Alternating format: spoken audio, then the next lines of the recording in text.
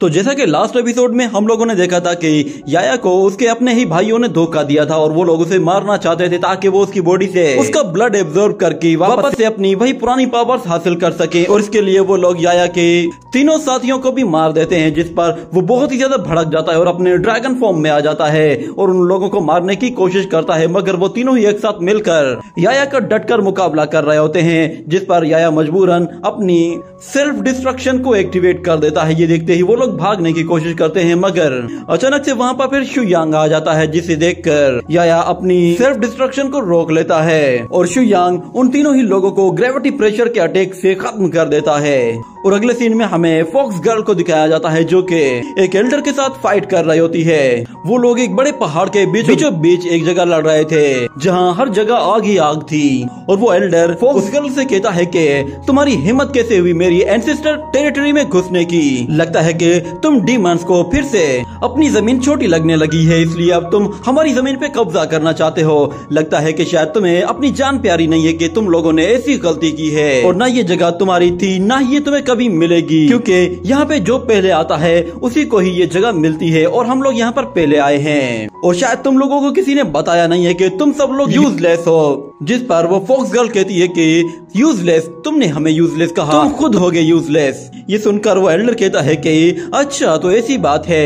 ये कहते ही वो अपनी सोट के साथ एक फायर ओरा एक्टिवेट कर देता है। और जैसे ही उस लड़की पे हमला करता है तो वो लड़की उसे फ़ौरन से डॉज करती है। मगर हमें दिखाया जाता है कि वो ओरा इतना ज़्यादा खतरनाक होता है कि आसपास मौजूद हर एक पत्ते को जलाकर राख कर देता है। और दूसरी तरफ़ वो लड़की भी पीछे हट जाती है मगर वो एल्डर रुकता नहीं है वो उस पर एक के बाद एक अटैक्स करना शुरू कर देता है जिससे वो लड़की खुद को बाल बाल बचा रही होती है और वो देखती है कि वो सोड और बहुत ही ज़्यादा खतरनाक है। अगर वो उससे टकराई तो वो उसे पूरी तरह से जला देगा। इसी तरह वो उसके अटैक्स को आहिस्ता आहिस्ता डॉच करना शुरू कर देती है और दूसरी तरफ़ शुयांग और सानियान दोनों ही ऊपर खड़े होकर ये सब कुछ देख रहे होते हैं। और फिर याया कहता है कि ये जगह पूरी तरह से माउंटेन से घिरी हुई है। अगर इस जगह में ये लावा ना होता तो शायद ये जगह रहने के लिए बहुत ही अच्छी होती। मगर फिर शुयान देखता है कि उस जगह पर एक बहुत बड़ा मीटियोर फायर एरेट किया गया है। यानी कि उस एल्डर ने जानबूझकर यहाँ पे फॉर्मेशन क्रिएट करके इस इस जगह को पूरी तरह से आग से भर दिया है। ये सुनकर याया कहता है कि,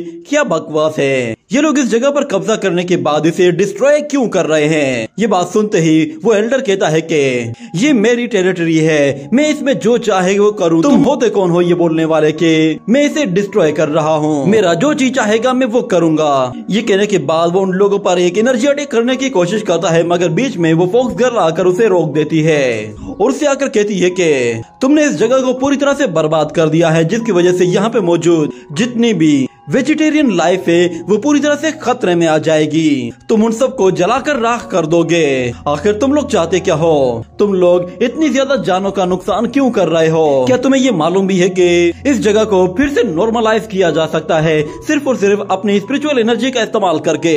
हमें सिर्फ़ और सिर्फ़ एक हज़ार साल लगेगा मगर ये जगह बिल्कुल खूबसूरत हो जाएगी। मगर वाइल्डर कहता है कि मेरा इससे क्या लेना देना?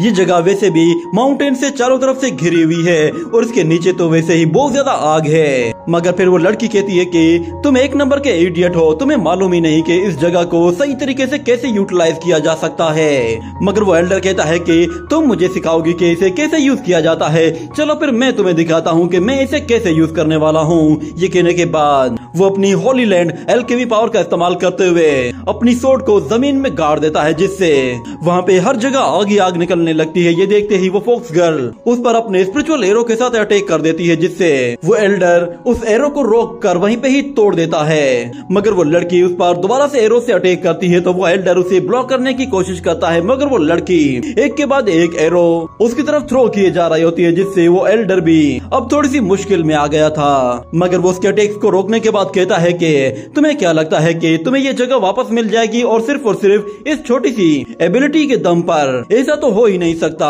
बेहतर यही है कि यहाँ से चले जाओ, वरना तुम में से कोई भी यहाँ से ज़िंदा नहीं जा पाएगा, क्योंकि मैं तुम सब लोगों को जलाकर अपने एलेक्सियर्स में कन्वर्ट कर दूँगा। ये कहने के साथ वो अपनी दोबारा से उसी फायर एरे फॉर्मेशन का इस्तेमाल करते हुए उसी ज़मीन के अंदर से बहुत ही ज़्यादा फायर एनर्जी को जनरेट करना शुरू कर देता है और शुयांग ऊपर खड़ा होकर ये सब कुछ देख रहा होता है। और वो एल्डर जैसे शुयांग पे हमला करता है तो वो लड़की बीच में आकर उस अटैक को रोक देती है। और फिर शुयांग से कहती है कि यहाँ पे बहुत ज़्यादा खतरा है, तुम लोग यहाँ से दूर हट जाओ। ये कहते ही वो इस एल्डर की तरफ़ आगे बढ़ती है और उस पर जैसे ही हमला करती है तो वो एल्डर उसे रोक लेता है। मगर वो लड़की खुद ही पीछे हटकर अपने एरो को बाहर निकालती है, जिससे वो उसे करीब आकर बहुत ही ज़ोर से एरो के साथ हिट करते हुए दूर उठाकर फेंक देती है। और मौका मिलते ही वो उसकी सोट को उसी ज़मीन से बाहर निकालती है ताकि वो फायर दोबारा से बुझ जाए। मगर इसका कोई भी फ़ायदा नहीं होता, वो अटैक रुकने का नाम ही नहीं ले रहा था। इतने में वो फायर जैसे ही फैलने लगती है तो इतने में सानियान उसे बचाने के लिए वहाँ पर पहुँच कर उसे वहाँ से दूर ले जाती है। दूसरी तरफ़ वो एल्डर हँसते हुए कहता है की, तुम बिला वजह में ही इतनी ज़्यादा स्ट्रगल कर रही हो, क्योंकि ये फायर जब एक मरतबा एक्टिवेट हो जाती है तो फिर उसके बाद इसे रोकना नामुमकिन है यहाँ तक के हमारे एंसिस्टर्स भी इसे नहीं रोक सकते।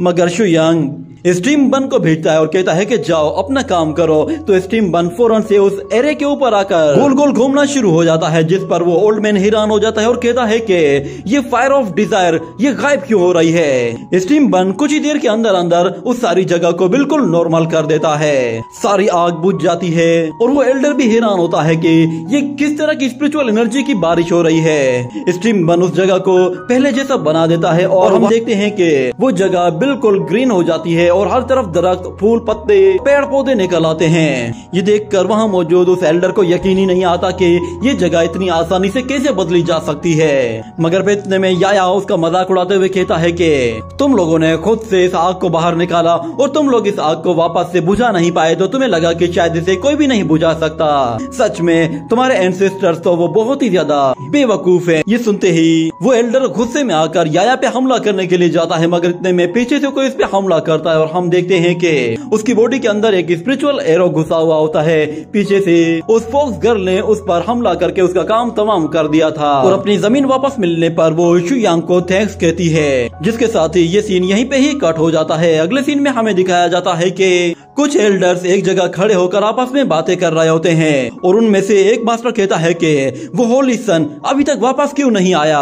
क्या उसे मालूम नहीं है कि इतना ज़्यादा वक्त हो गया है? और तुम लोग जरा देखो, तुम लोग इतना मज़े से बैठकर यहाँ पर चेस खेल रहे हो। और मेरी टेंशन से तो हालत खराब हो रही है। ये देखकर दूसरा एल्डर उससे कहता है कि, आखिर तुम इतने ज़्यादा उतावले क्यों हो रहे हो? तुम्हें किस बात की टेंशन है? तुम्हें बस इंतज़ार करना है, जब तक वो होली सन आ नहीं जाता, तब तक खुद को शांत रखो। वैसे भी हमारे पास कोई सोल्यूशन नहीं है। अब वो होली सन ही हमें कोई ना कोई सोल्यूशन दे सकता है। मगर वो एनसिस्टर कहता है कि तुम मुझे शांत होने का कह रहे हो। मेरा होली पैलेस ऑफ़ एल्केमी, वो मुझसे छीन लिया गया है। और तुम चाहते हो कि मैं होली सन का और ज़्यादा इंतज़ार करूँ, जबकि मैं ऑलरेडी बहुत ज़्यादा इंतज़ार कर चुका हूँ। मगर फिर वो दूसरा मास्टर उससे कहता है कि तुम्हें बस थोड़ा सा सबर करना है। हम लोग एक मरतबा होली सन के साथ बैठकर मशवरा कर लें, उसके बाद हम लोग डीमन क्लान को अच्छा सबक सिखा सकते हैं। पहले तो हम लोगों ने डिमन क्लान के सामने थोड़ी सी सॉफ्टनेस दिखाई थी, मगर अब कोई नरमी नहीं बरती जाएगी। मगर फिर वो दूसरा एंसिस्टर कहता है कि, तुम थोड़ा सा शांत हो जाओ, तुम जानते भी हो ना कि वो होली सन वो बहुत ही ज़्यादा अहम दिल है। इसलिए हम लोग ऐसी कोई गलती नहीं कर सकते। मगर फिर वो पहले वाला कहता है की, हम तीन एल्डर से हम लोग आपस में एक साथ क्यूँ नहीं मिल जाते? हम एक साथ मिलकर भी तो उन डीमंस का बैंड बजा सकते हैं। ये कहने की देर थी की एक सेब उसके सिर पे आकर लगता है, जिस पर वो पीछे पलट कर देखता है तो उसे वहाँ पर एक लड़की दिखाई देती है, जिस पर वो कहता है कि, तुम्हारी हिम्मत कैसे हुई हमें डिस्टर्ब करने की? तो वो लड़की कहती है कि, मुझे माफ़ करना, असल में वो मेरे हाथ से फिसल कर तुम्हें लगा है। ये कहते हुए वो अपना मुँह दूसरी तरफ़ करके उस सेब को एंजॉय करने लगती है और कहती है कि, इसका टेस्ट सच में अच्छा है। मगर दूसरी तरफ़ वो एल्डर उस लड़की को वहाँ पर देखकर काफ़ी चौंक जाते हैं और कहते हैं कि, सुनो लड़की, तुम यहाँ पे कैसे आई हो? तो वो लड़की कहती है कि, मैं यहाँ पर चलकर आई हूँ। मगर वो पहले वाला इंसिस्टर कहता है कि बेवकूफ़ लड़की यहाँ पर एक टर्टल स्पेशल फॉर्मेशन है। इस फॉर्मेशन के अंदर सिर्फ़ और सिर्फ़ हम कुछ लोग ही एंटर कर सकते हैं। आखिर तुम यहाँ पे कैसे आ गई? हम तीन लोगों के अलावा सिर्फ़ और सिर्फ़ होली सन ही है जो की इस फॉर्मेशन के बारे में जानता है की इसके अंदर कैसे आना है। कोई भी आम बंदा इस फॉर्मेशन को न देख सकता है न ही इसके अंदर एंटर कर सकता है। और वैसे भी तुम एक कमज़ोर सी लड़की हो तो तुम्हारे लिए तो एंटर करना पॉसिबल था ही नहीं। मुझे तो ऐसा लग रहा है जैसे तुम कोई गद्दार हो जो कि डीमन क्लान के साथ मिली हुई है। ये सुनते ही वो लड़की वहाँ से जाने की कोशिश करती है मगर एक एल्डर उसे अपनी फॉर्मेशन के अंदर ट्रैप कर लेता है और फिर उससे कहता है कि सुनो लड़की तू इस फॉर्मेशन के अंदर अपनी मर्ज़ी से नहीं आ सकती न ही अपनी मर्ज़ी से इससे बाहर जा सकती हो। मगर हम देखते हैं कि वो लड़की अचानक से उस ट्रैप से निकल जाती है, जिस पर वो एल्डर भी हैरान रह जाते हैं। और कहते हैं कि इसके पास तो कोई स्ट्रेंज बॉडी मेथड है। ये ज़रूर डीमंस की कोई जासूस है। ये कहते ही वो सब के सब एक साथ मिलकर उस पर एनर्जी अटैक कर देते हैं। मगर हम देखते हैं कि वो लड़की उन अटैक्स को बहुत ही आसानी से होल्ड कर लेती है और उन्हें आराम से एब्जॉर्ब करके पूरी तरह से खत्म कर देती है जिस पर वो सारे के सारे लोग हैरान रह जाते हैं। तो कहते हैं कि आखिर ये किस तरह का मैजिक पावर है? और इतने में वो लड़की किसी को इशारा करते हुए कहती है कि अच्छा हुआ कि तुम आ गए। ये सुनते ही वो सब पीछे मुड़कर देखते हैं। उन्हें लगा कि शायद वहाँ पर होली सन आया है। मगर होली सन उन्हें कहीं दिखाई नहीं देता और वो लोग जब पीछे पलट कर देखते हैं तो वो होली सन उस लड़की के साथ होता है। और वो लड़की उस होली सन से कहती है कि इन लोगों को पनिशमेंट दो, क्योंकि इन लोगों की वजह से मैं वो इतने मीठे सेब खा नहीं पाई। मगर फिर वो होली सन उससे कहता है कि कोई बात नहीं मैं तुम्हें एक बाइश हुई आइस जेल देता हूँ। ये टेस्ट में उससे भी ज़्यादा अच्छी है। क्या तुम इसे एक मरतबा ट्राई करना चाहोगी?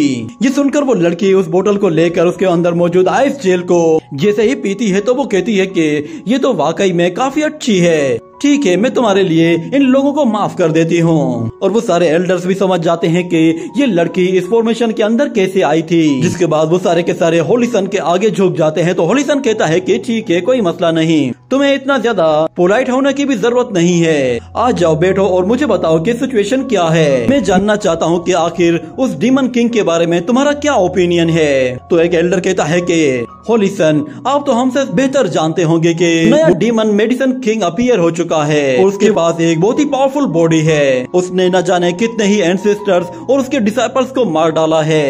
मुझे लगता है कि हमें चुपचाप नहीं बैठना चाहिए। हमारा बदला लेना तो बनता है। हम लोगों ने पहले से ही बहुत सारी पिल्स जमा करके रखी हुई है जो के क्यों ली डान पिल्स हैं? उनका इस्तेमाल करते हुए हम लोग सीधा उन लोगों पे हमला करेंगे और सारे के सारे डीमंस का नामो निशान तक मिटा देंगे। मगर वो होलीसन उन लोगों से कहता है कि, ये बात भूलो मत के डीमन क्लान के पास बहुत सारी डीमन टेरिटरीज हैं। हम लोग अपने अपोनेंट की स्ट्रेंथ को यूज़ करके अपने अपोनेंट को हरा सकते हैं। इस तरह सांप भी मर जाएगा और लाठी भी नहीं टूटेगी। और अगर तुम लोग वाकई में ऐसा कोई काम करना चाहते हो तो फिर इसके लिए तुम्हें फुल प्रूफ प्लानिंग की ज़रूरत है। तुम लोग एक मरतबा वापस जाओ और अच्छे से जाकर इस मामले पर डिस्कस करो। मगर एक एल्डर कहता है कि हम लोग और ज़्यादा इंतज़ार नहीं कर सकते। ये सुनते ही होली सन फ़ौरन से सीरियस हो जाता है जिस पर वो तीनों के तीनों खामोश हो जाते हैं और कहते हैं कि ठीक है हम यहाँ से जाते हैं। ये कहते ही वो लोग फ़ौरन से वहाँ से चले जाते हैं। और फिर वो होली सन उस लड़की से कहता है कि मुझे तुम्हारी एक फेवर चाहिए। जाओ और जाकर मिस्टर यूलाओ से मिलो।